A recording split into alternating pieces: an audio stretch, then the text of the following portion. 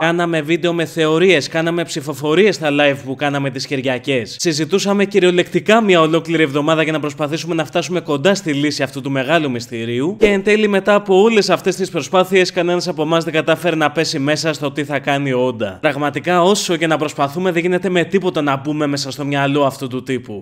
Γεια σα όλους, είμαι ο Γκυλγαμές και σήμερα μόλις κυκλοφόρησαν τα spoilers για το κεφάλαιο 1106 του One Piece. Οπότε εννοείται πως εγώ είμαι εδώ όπως και κάθε εβδομάδα για να τα διαβάσω και να τα αναλύσω όσο καλύτερα μπορώ. Την προηγούμενη εβδομάδα είδαμε τα πράγματα να γίνονται πραγματικά πολύ δύσκολα για τον Λούφι και την υπόλοιπη συμμαχία του. Καθώς όχι μόνο έπρεπε να αντιμετωπίσουν τον Κιζάριο και τον Σάτουρν, αλλά έπρεπε να τα βάλουν και μόνοι τους ενάντια σε ένα ολόκληρο Buster Call. Επίσης, το προηγούμενο κεφάλαιο τελείωσε με ένα πραγματικά πολύ μεγάλο cliffhanger, καθώς είδαμε τους στρατιώτες του ναυτικού να πανικοβάλλονται με ένα πολύ μυστήριο πλοίο το οποίο έφτανε κοντά στο νησί του Vegapunk. Σήμερα λοιπόν όχι μόνο μαθαίνουμε το ποιοι χαρακτήρε βρισκόντουσαν πάνω σε αυτό το μυστήριο πλοίο, αλλά μπορώ να σα πω και με πολύ μεγάλη σιγουριά ότι κανένα από εμά δεν περίμενε να δει αυτού του χαρακτήρε. Επειδή λοιπόν έχω χαϊπαριστεί πάρα πολύ με τα spoilers που έχω διαβάσει μέχρι στιγμή για αυτό το κεφάλαιο, δεν θα τραβήξω όλη αυτή την εισαγωγή και πάμε κατευθείαν να ξεκινήσουμε να διαβάζουμε τα spoilers αυτή τη εβδομάδα. これが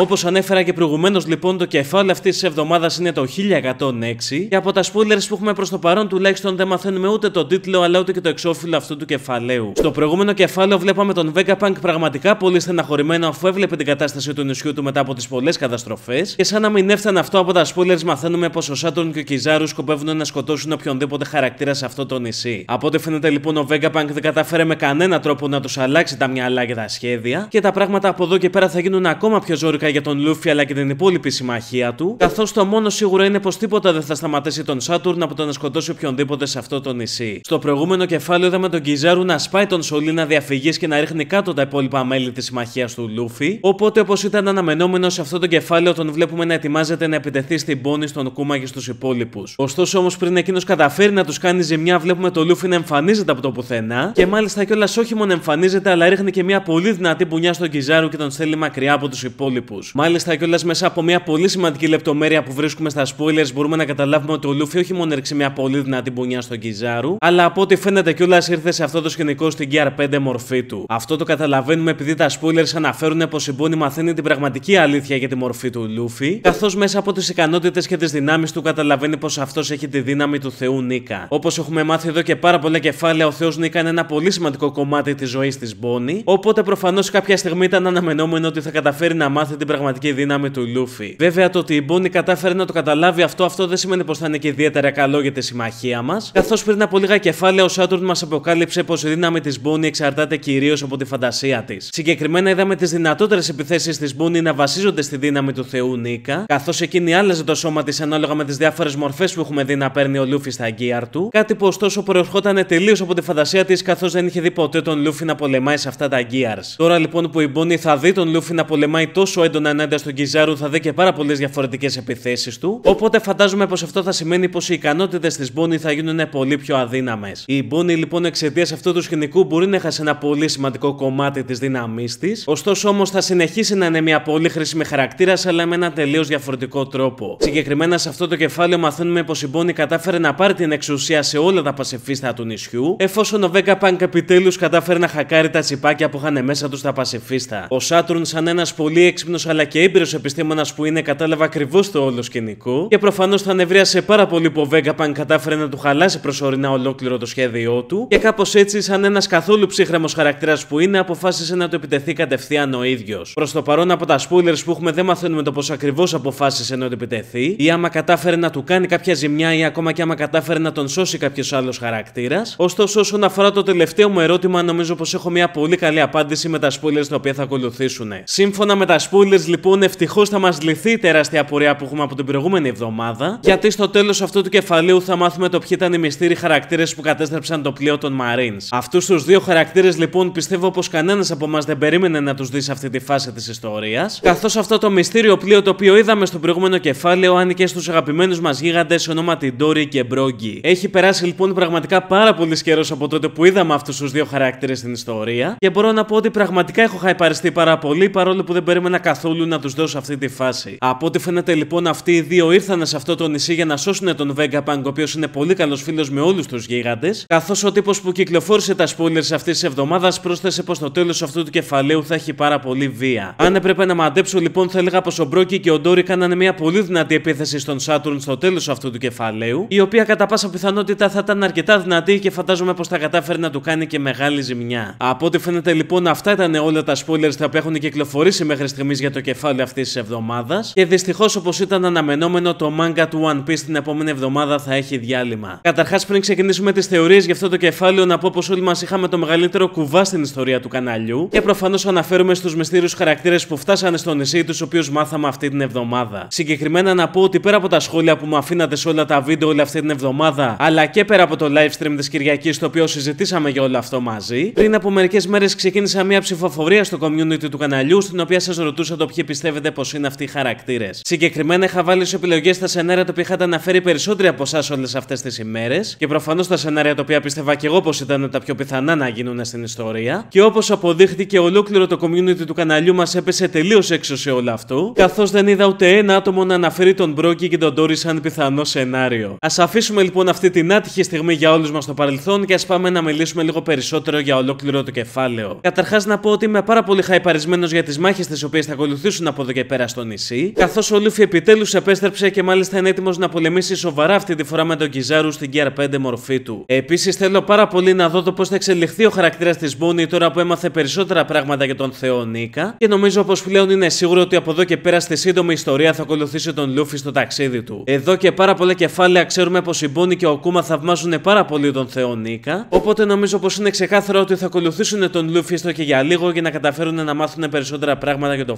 φρούτο του. Τώρα, όσον αφορά τον Μπρόγκη και τον Τόρι, νομίζω πως είναι ξεκάθαρο στο ποιος θα είναι ο ρόλος τους από εδώ και πέρα στην ιστορία. Καθώς όλοι μας ξέραμε εδώ και πάρα πολύ καιρό πως το επόμενο άρακ της ιστορίας εννοείται πως θα γινόταν στο νησί Έλμπαθ. Οπότε και ο Όντα έπρεπε να βάλει κάποιο συνδετικό κρίκο για να καταφέρουμε να φτάσουμε σε αυτό το νησί. Οι δύο αυτοί γίγαντες λοιπόν κατά πάσα πιθανότητα ήρθαν στο νησί του Vegapunk έτσι ώστε να το σώσουν εφόσον είναι πολύ καλοί φίλοι μαζί του. Και φαντάζομαι ότι θα πάρουν τον Λούφι και την υπόλοιπη συμμαχία μαζί τους για να πάνε όλοι μαζί στο νησί Έλμπαφ. Να πω ότι αυτοί οι δύο γίγαντες προφανώς όπως όλοι μας ξέρουμε είναι και πολύ καλοί φίλοι με τον Ουσόπ και με το υπόλοιπο πλήρωμα του Λούφι. Οπότε μπορεί και αυτοί να διαβάσανε στα νέα πως ο Λούφι πολεμούσε με έναν Gorosei και γι' αυτό να ήρθαν σε αυτό το νησί για να βοηθήσουν. Να ξεκαθαρίσω το ότι επειδή είδαμε τον Σανκς πριν από λίγα κεφάλαια να βρίσκεται στο νησί Έλμπαφ, αυτό δεν σημαίνει πως και αυτός ήρθε μαζί τους. Το ξέρω ότι κάτι τέτοιο θα έβγαζε πολύ μεγάλο νόημα επειδή ο Σανκς είναι πολύ καλός φίλος με τους γίγαντες, αλλά δεν πρέπει να ξεχνάμε πως την τελευταία φορά που τον είδαμε στην ιστορία, εκείνος ξεκίνησε το ταξίδι του για να βρει τον θησαυρό του One Piece. Αυτό λοιπόν σημαίνει πως ο Σάγκ μάζεψε το πλήρωμά του και φύγαν όλοι μαζί πολύ πιο νωρίς από το νησί Έλμπαφ. Οπότε κιόλα γι' αυτό το λόγο ο Μπρόκι και ο Ντόρι ήρθαν μόνοι τους στο νησί του αγαπημένου μας τρελού επιστήμονα. Όπως και να έχει, παιδιά, αυτά ήταν τα spoilers για αυτή την εβδομάδα και θέλω πολύ να μου γράψετε στα σχόλια για τις δικές σας θεωρίες. Να πω ότι κανένα δύο μέρες αφού βλέπετε αυτό το βίντεο θα ανέβει και ένα καινούριο βίντεο θεωρίας για τον νησί Έλμπαφ αλλά και τον Joy Boy. Οπότε μην ξεχάσεις να κάνεις μια εγγραφή στο κανάλι μου για να μην χάσεις και τα μελλοντικά μου βίντεο. Κάπου εδώ εντωμεταξύ είναι και πολύ καλή στιγμή για να ευχαριστήσω τα μέλη του καναλιού για την τεράστια υποστήριξή τους.